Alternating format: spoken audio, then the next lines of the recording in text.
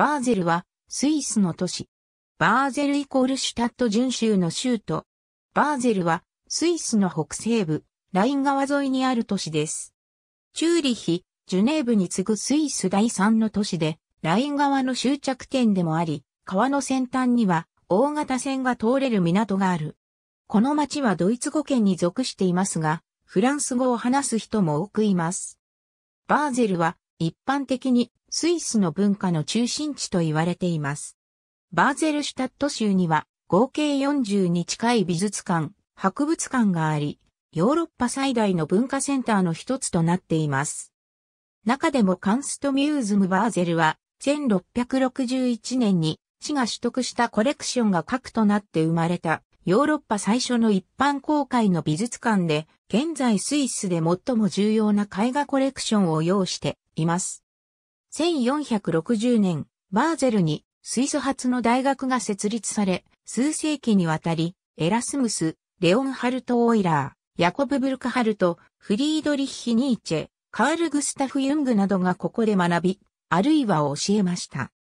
位置は、北緯47度34分0秒統計7度36分0秒北緯47.56667度統計7.60000度、47.566677.60000、標高260メートル。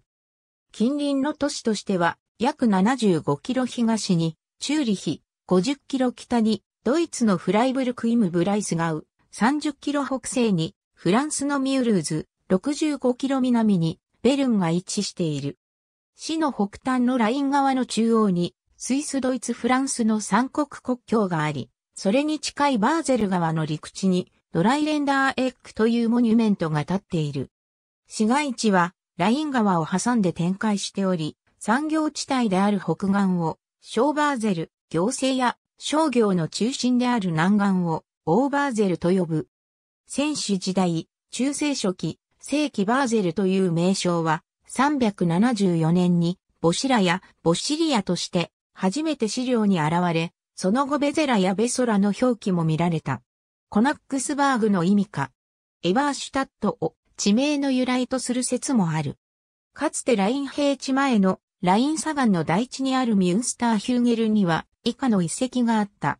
1、大地の突端に骨壺地時代の集落。2、5の大聖堂の地にアピダム。3、ローマの軍営地。次第に非軍営的特徴を帯びてゆくが、間もなく都市として構想された植民地、オーガスタ・ローリカの影に隠れる。4、古代ローマ時代末期の避難所的な城塞。オーガスタ・ローリカの近くに置かれた城塞カストラム・ローラセンスより規模は大きいが、それより防御施設は脆弱。5、中世初期の通常のイムニテーと領域を持った司教城。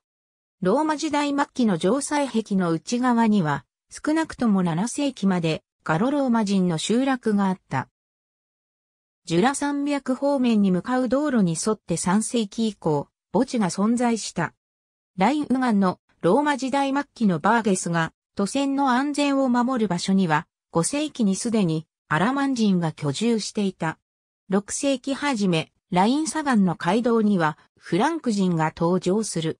これはバーゼルのフランク王国への実質的編入の印である。最初の壮大な司教座聖堂の建設はハット司教によるものだろう。メロビング時代に建てられたと思われるマルティン教会も死にアクセントを与えていた。中世世紀には手工業者や農民の家屋が建設され、また商人の集落が形成された。バーゼルは870年以降東フランク王国に912年から1032年までブルグント王国に属した。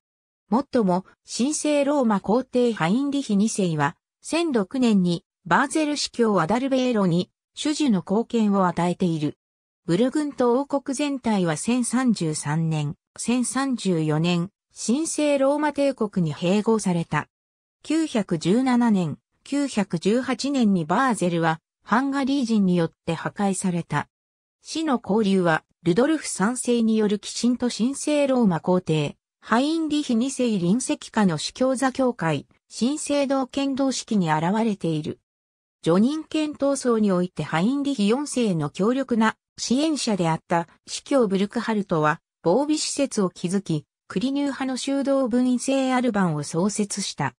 12世紀末期には新しい司教座聖堂の建設が開始され、1202年に剣道式が催された。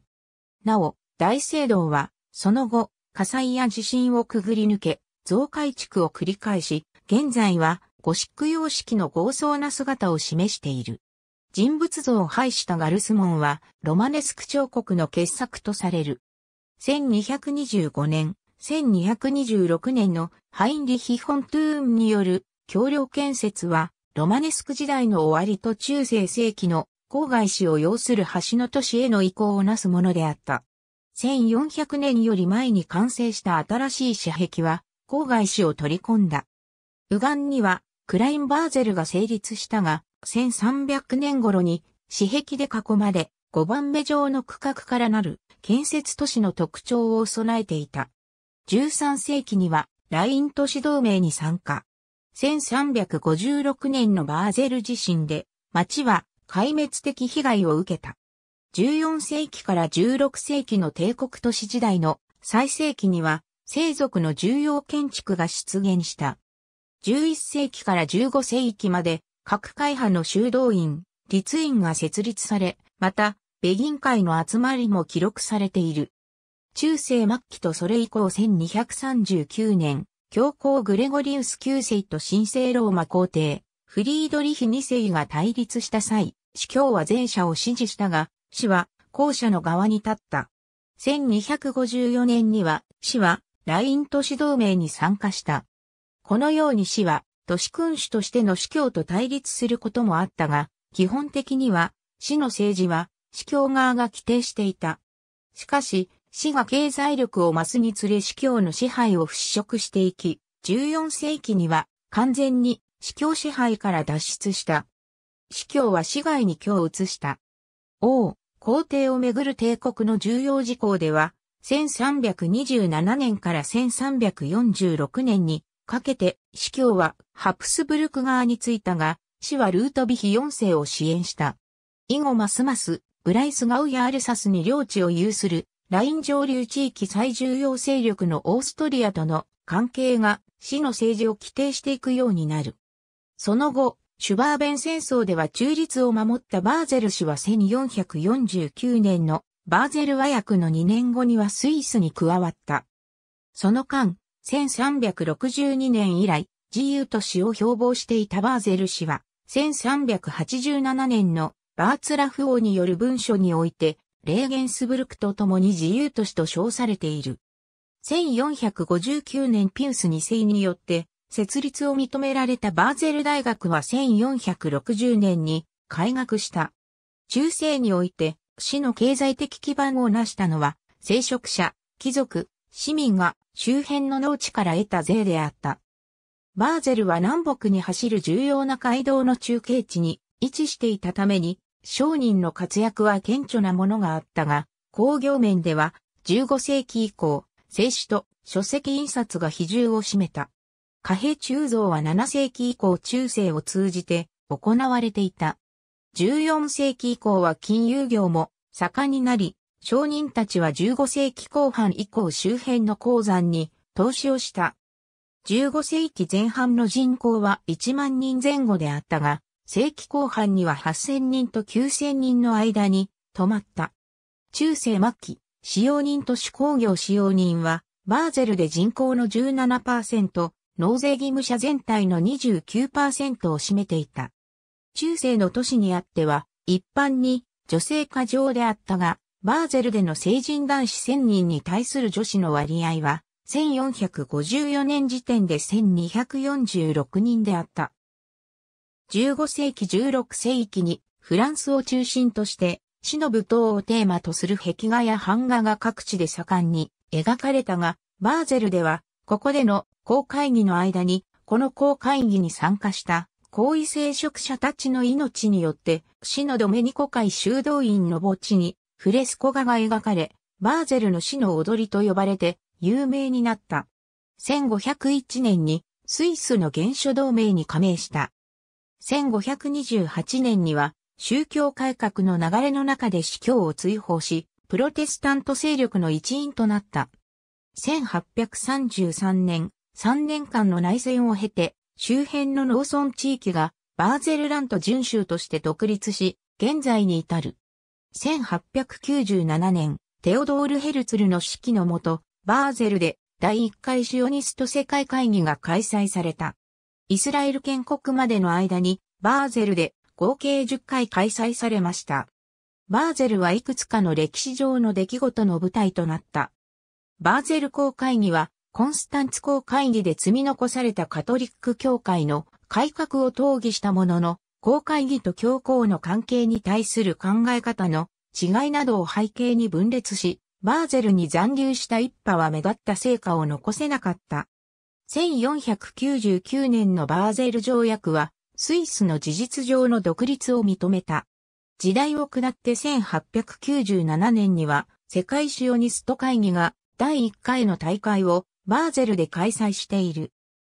スイスの一州として神聖ローマ帝国の影響を離れ、宗教的にも急進的なプロテスタントではなかったことを背景に、15世紀後半に誕生した印刷、出版業が栄え、ラテン語訳聖書、神学、哲学、法学、教会法学の書籍、恐怖の著作、人文主義者の作品等、多くの重要な著作が出版されたことでも知られている。中でも有名なのが、アルブレヒト・デューラーによる版画を付した文学作品、エラスムス編集のギリシア語新約聖書などである。また、ジャン・カルバンのキリスト教公用、アンドレアス・ベサリウスの人体の構造も、当地で初めて刊行された。バーゼルはライン川という欧州水運の大動脈における最終素交点、ライン川最初の下境点、スイス、ドイツ及びフランスが国境を接する地点として交通の要衝となっている。鉄道ではスイス連邦鉄道、フランス国鉄及びドイツ鉄道の3鉄道事業者がそれぞれバーゼル SBB 駅、バーゼル SNCF 駅及びバーゼルバディッシャー駅というターミナル駅を置いている。バーゼル SBB 駅とバーゼル SNCF 駅は、施設的に一体で、スイス国鉄のホームの西側に、フランス国鉄のホームがある。スイスのシェンゲン協定加盟以降、両駅の間にあるパスポートチェックのためのゲートは利用されていないものの、税関検査は、スイス側を中心に引き続き行われている。また、ライン側の北側にあるドイツ鉄道のバディッシャー駅を起終点とする列車は基本的にローカル線の列車のみであり、フライブルク以北から運行されている国際列車は同駅に停車した後、一般的にはバーゼル SBB 駅に乗り入れている。ただし、ドイツ国内で SBB 駅行きの列車が大きく遅延した場合には、バディシャー駅で運転が打ち切られ、その列車の編成で運行する逆方向の列車が SBB 駅ではなくバディシャー駅始発となることもある。バーゼル各駅の幹線列車の時刻表を見ると、スイス国鉄については、毎時4本のチューリヒ行きのほか、ベルン、ルツェルン及び、ジュネーブ方面への直通列車が少なくとも、毎時1本は運行されており、これらの一部は、ザンクトガレン、インターラーケン、ルガノ、ブリークなどが終着駅となっている。また、ドイツ鉄道については、フランクフルト中央駅、またはフランクフルト空港駅方面へのアイスが毎時1本運行されている。これに対し、フランス国鉄のパリリオン駅行き TGV は1日6本の運行に止まっている。所要時間は、チューリヒ、ベルン及びルツェルンが約1時間、ジュネーブ、フランクフルト及びパリリオン駅が約3時間となっている。市内交通は、主としてバーゼル市交通局とバーゼルラント交通局が運営する市電及びバスが担っている。運賃はゾーン制で BVB と BLT だけでなくスイス国鉄のローカル線もカバーしている。駅、または停留所での改札はないものの、抜き打ちで検察が行われることは珍しくなく、有効な切符を所持していない場合には高額の罰金を課される。なお、ドイツやフランスに入るバスや鉄道の路線もある。バーゼルの空の玄関は、バーゼル・ミュールーズ・フライブルク国際空港である。この空港の所在地は、完全にフランス領内であるが、空港の建設及び運営はスイス及びフランスが共同で行う珍しい形態となっている。スイスが宣言協定に加盟した後も、依然として関税地域は別であるため、フランス用とは別にスイス用の出入り口が設けられており、道路や駐車場もフランスのものと接続のない独立系統でスイス領へ直接結ばれる構造となっている。なお、フランス国内を発着する航空路線については、ミュールーズ発着として時刻表などに掲載されることも多いので注意を要する。道路交通では、ライン側の左岸を走るフランスのオートルート A35 と、右岸を走るドイツのアウトバーン A5 が市内で合流し、スイスの南北幹線高速自動車道 A2 に接続している。ちなみに、スイスでは国内で自動車を利用する者が毎年一定額の道路利用税を支払うことになっているため、その証明ステッカーがフロントガラスに調布されていない外国の自動車は国境でステッカーを購入しなければならない。バーゼルのライン川沿いに展開している港湾施設はスイス唯一の貿易港であり、スイス港とも呼ばれている。年間のバルク貨物取扱量は650万トンで、その約半分が石油関連、海上コンテナ取扱量は10万 TEU となっている。ロシタワー動力源としてライン側の水力を活用できたことや、宗教的に比較的寛容だったことを背景に、欧州各地から宗教的な迫害を受けた商工業者が移住しやすかったことから、近世には織物工業や製紙業が発達した。こうした工業生産に必要な染料や薬剤を供給するため、化学工業が早くから発達し、現在もバーゼルに本社を置く世界的な製薬会社、ノバルティスやロッシュの延源となった。ドイツとアルプス山脈以南とを結ぶ陸路がライン川を渡る地点として、また、ライン川の最終素光点という地理的な条件を背景に古くから商業も栄えてきた。1471年から毎年続いている周期種のほか、春の宝飾品、時計の見本誌、夏の美術品商談会など多くの見本誌が開催されることでも知られている。中立国スイスにあり、フランスとドイツへの鉄道の便が比較的良いことから、1930年に国際決済銀行の本部が置かれた。同銀行は世界各国の中央銀行間の協力を目的としており、その一環としてバーゼル銀行監督委員会に事務局機能を提供している。バーゼルの年間行事のうち、最も有名なものは、バーゼルのカーニバルである。一般的に、プロテスタント世界ではカーニバルを祝う伝統がない中、バーゼルのカーニバルはその例外である。ただし、灰の水曜日の直後の月曜日の午前4時に始まる日程はカトリック世界で一般的な日程と比べ1週間遅くなっている。様々な衣装に身を包んだ地元の参加者が72時間にわたって音楽を演奏しながら市内を練り歩き、大量の紙吹雪を撒き散らす様子は欧州の記載の一つに数えられている。春のカーニバルに対し、秋には周期誌が開催される。1471年、時の皇帝フリードリヒ三世の直居によって始まり、現在に至るまで500年以上にわたり中断されることなく続いている。10月末から11月初の2週間にわたり、市内数カ所の広場に観覧車やメリーゴーラウンドなど移動式の遊具が設置されるほか、各種の屋台が立ち並ぶ。バーゼル大学バーゼルは、スイス最古の大学である、バーゼル大学などの高等教育機関を要し、多くの美術館や博物館もある。このほか、私立劇場の芸術性も高い評価を受けており、スイスにおける文化の中心の一つとなっている。バーゼルとその近郊には30を超える数の美術館及び博物館がある。世界最古の公共美術館と言われるバーゼル市立美術館は15世紀から16世紀にかけての南ドイツ地方で活躍した画家及び19世紀から20世紀にかけて活躍した画家の作品を中心としたコレクションが充実している。また、バイエラー財団美術館は、現代美術のコレクションのほか、独創的な企画展の開催で知られ、欧州全域からの入場者が絶えない。